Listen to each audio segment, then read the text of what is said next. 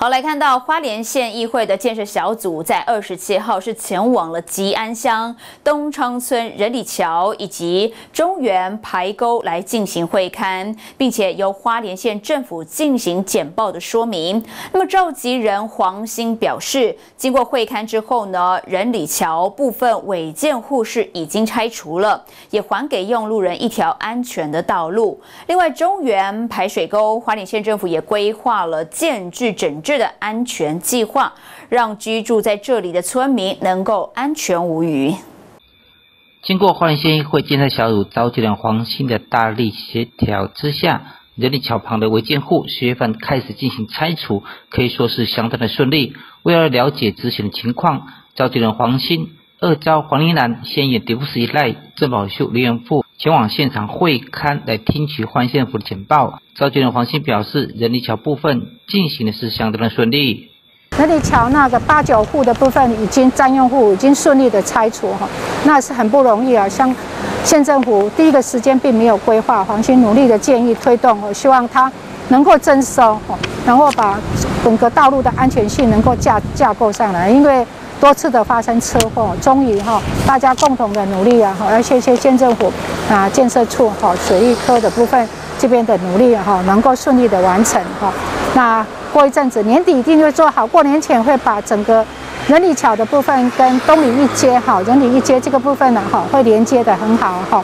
各位乡亲，你们可以拭目以待，包括晚上时间去运动哈，都很方便啊。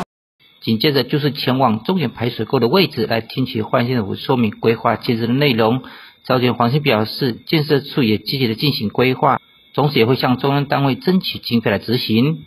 在这里，我们一直很关心哈啊，尤其我在乡长任内对吉安溪的整治跟安全的部分，一直是我哈第一个时间会关切的地方哈。那也谢谢县政府在多方面的努力，把我们吉安溪的建制的方面呢，现在已经慢慢的哈能够连接上来，而且哈建制的很好，让我们啊早晚很多乡亲在这里做运动哈，都能够哈顺利在这个步道上很安全的哈来走。啊，那重要的是河川是安全性的哈。那对于整个河川的安全的部分，包括我们的中远排水的部分，现在我们来到中远排水口，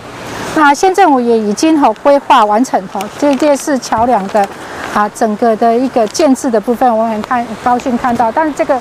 桥梁的部分还要再进去再修饰哈，再改。那明年预计明年最快明年哈即将要来建制了哈，将要建制。那中远排水要跟我们江西哈。啊，交流的地方哦，汇流的地方是我们防灾，哦安全性防灾重要的一个点哦，能够将它能够让它尽快来做完成哈。我们相信吉安溪所有两岸的啊防点的部分就全部已经接起来了哈。中原排水口是最后最后一个点哈。那我们在啊联合排水的部分，回澜桥的部分，黄兴在任内已经建制完成了哈。包括东里一街、仁里一街，哈，都一样，我们可以这边一直走，走到海边去了，哈，那两侧将来都可以，哈，很顺畅的来，好来行驶。召集人黄兴表示，对中原排水沟的整治计划可以说是乡亲们的期待。关县政府监视完之后，就会编列预算，以及向中央单位争取经费，希望来解决地方安全的问题，让大家住得安心。